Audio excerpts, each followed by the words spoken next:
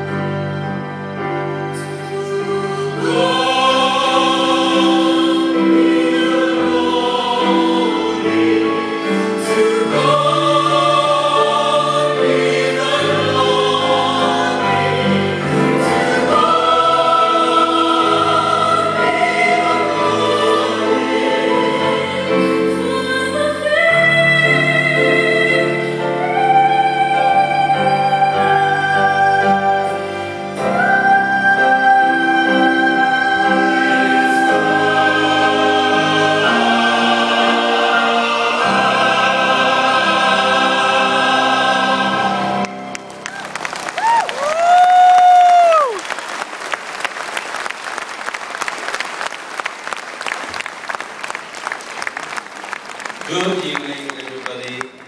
Now I can speak after Handel. So uh, uh, we started with some Handel with uh, the Vienna Orchestra, and uh, we carried on with some Handel, and we sort of went halfway through with a bit of Handel and a little bit of Bollywood. And there's going to be a lot of masala stuff. And by the way, did I say good evening to everybody? But you're not responding very well. Yesterday's crowd was much better. So I'm not going to play as well tonight. So let's hear it again. Good evening, everybody. Thank you. And a warm welcome to our very dear friends from Vienna. I, um, I, personally, I personally feel very humbled that I've been allowed to sort of conduct them.